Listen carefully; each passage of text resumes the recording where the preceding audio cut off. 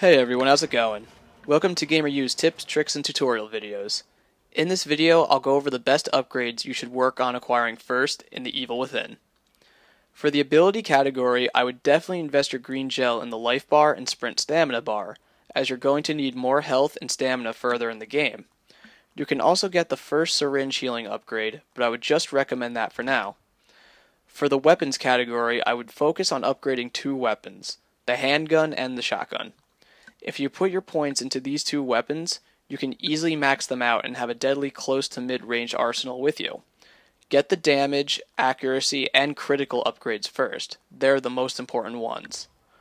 For the stock category, I would only focus on increasing the amount of matches, syringes, agony bolts, and grenades that you can hold. Matches being the most important. Don't worry about the other ammo types, as I rarely found myself not being able to collect ammo while I was out of the hospice. If you have spare green gel, then you should grab one shotgun stock upgrade. Lastly are the agony bolts, which I never really upgraded because I found the default stats pretty effective. I wouldn't allocate any points here unless you've grown attached to the crossbow. For more awesome gaming videos, stay tuned to GamerU.